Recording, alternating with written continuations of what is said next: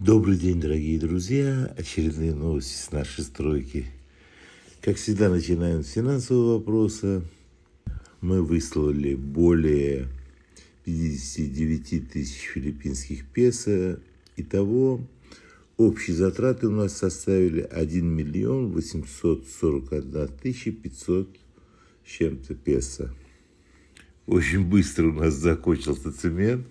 100 мешков. Я даже был удивлен. Поэтому пока купили еще 60 дополнительных мешков. Ну и по мелочи. Клей для плитки, для покраски кое-что, я имею в виду, валики и так далее.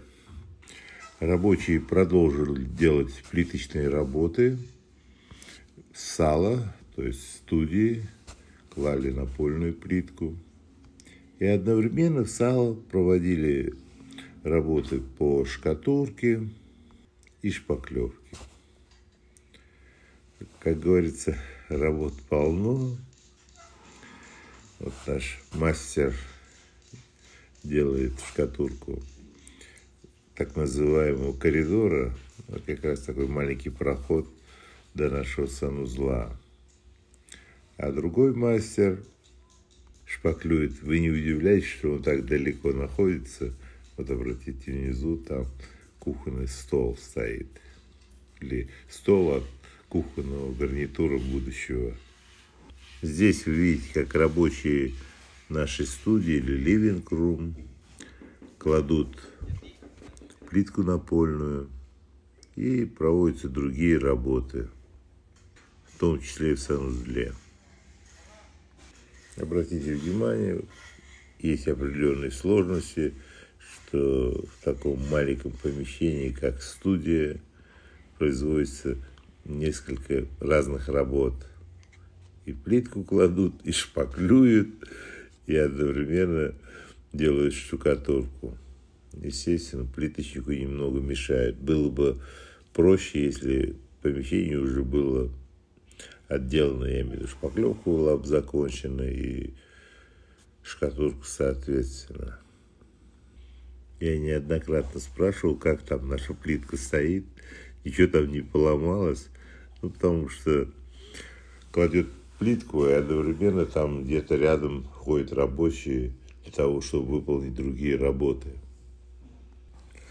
На этой неделе приехали работники, которые делали нам окна. Долго ехали.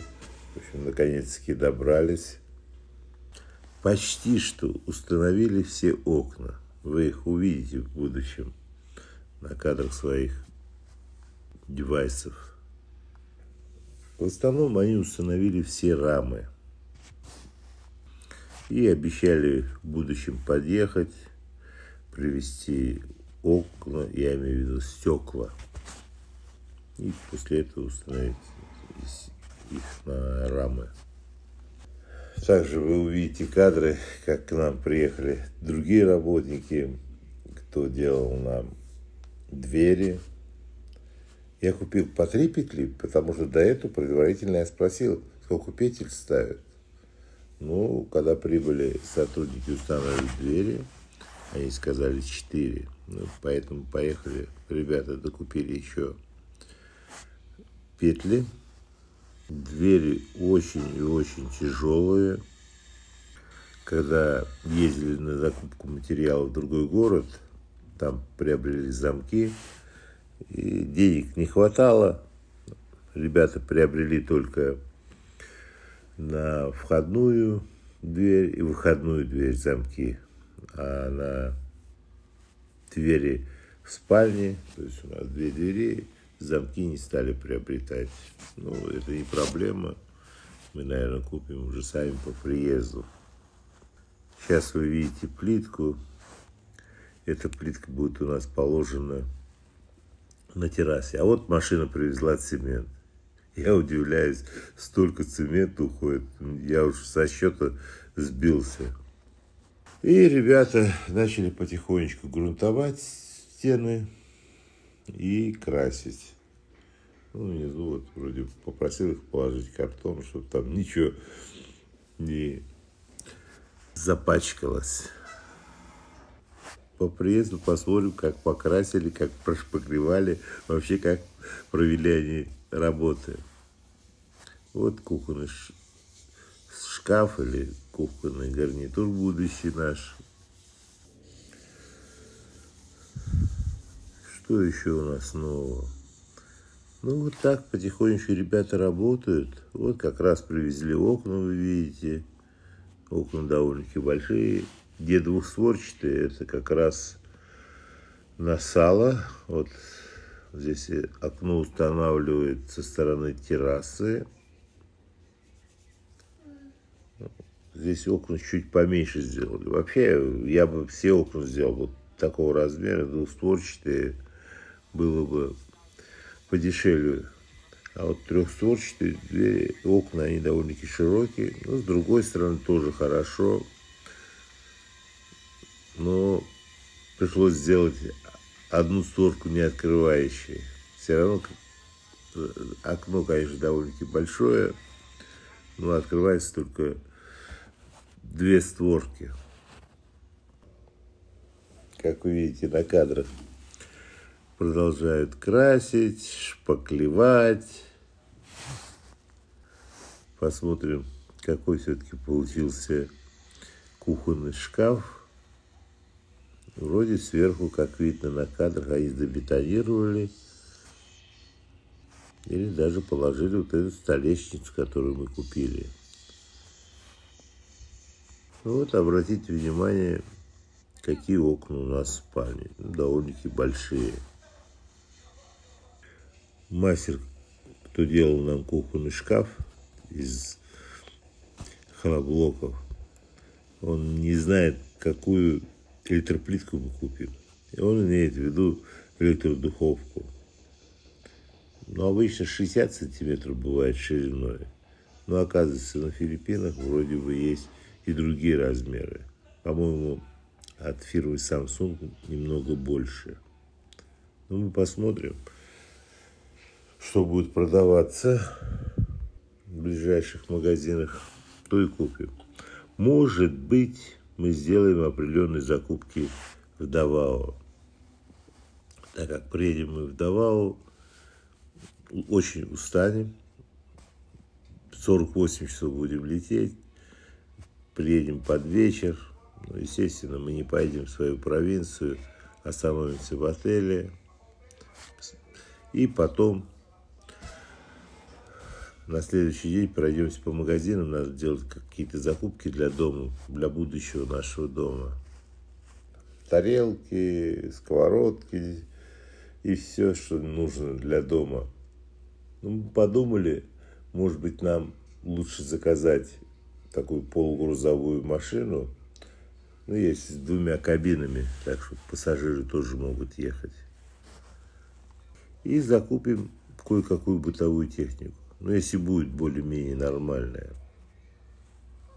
Надо будет посмотреть люстры и как раз вот духовку электрическую, газовую плиту, вот замки для дверей. Двери, обратите внимание, мы заказали такие простенькие. Я имею в виду дизайн простой. А это у нас санузел внутренний. Вроде бы я сказал метр восемьдесят, чтобы была ширина. Ну, что-то мне узко, кажется, сделал мастер. Но с одной стороны нормально, потому что у нас довольно-таки приличного размера санузел находится на улице. Внутри мы не будем ставить стиральную машину и так далее и тому подобное. И вот ребята продолжают устанавливать двери. Кто первый раз смотрит, мы заказали двери из дерева якал. Ну, считается одной из лучших древесин. Где-то в других провинциях, я предполагаю, довольно-таки сложно будет найти. Даже в нашей провинции, вот, ну, где мы живем, поехали, купили, к примеру, приехали второй раз, хотели купить, уже нету. И вот один из наших мастеров продолжает класть плитку на террасу. Терраса у нас очень большая, 32 квадратных метра должно быть минимум. Я решил установить такой плитку зеленого цвета, типа узорчатую. Мы хотим заниматься физкультурой, поэтому захотелось, чтобы немного красочно было. Ну, именно зеленый цвет, вокруг тоже зелень. Ну и сыну нашему будет нормально. В основном на Филиппинах время проводится на улице, поэтому терраса должна быть большой. На этом все, дорогие друзья. Счастливо. Надеюсь, что следующее видео о строительстве нашего дома я сам буду снимать и покажу, что сделали ребята. И расскажу о своих первых впечатлениях. Ставьте лайки, пишите комментарии, подписывайтесь на канал. Будет еще и еще более интересно, так как мы будем снимать, как мы адаптировались на Филиппинах, что мы будем делать.